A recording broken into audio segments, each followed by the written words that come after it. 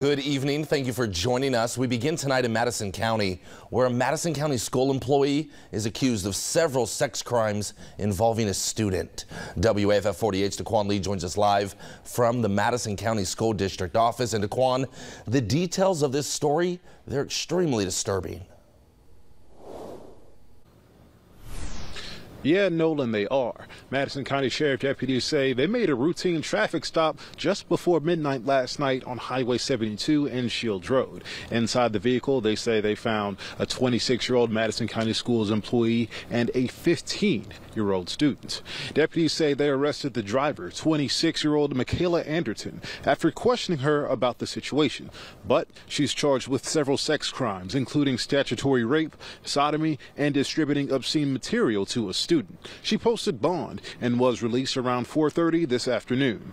The sheriff's office says investigators worked and found the alleged sex abuse had been going on for 2 months. They claim Anderton began the conversations with the student and it eventually escalated to them exchanging several pictures, videos, and explicit text messages back and forth. They also believe the two met up several times engaging in several sexual acts.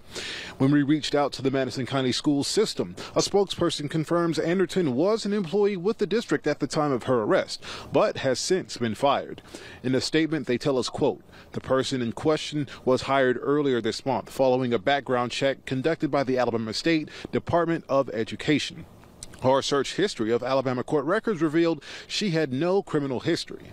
Now, we also asked the district spokesperson about their role and where specifically she worked. However, we were told in an effort to protect the identity of the victim, they are withholding that information.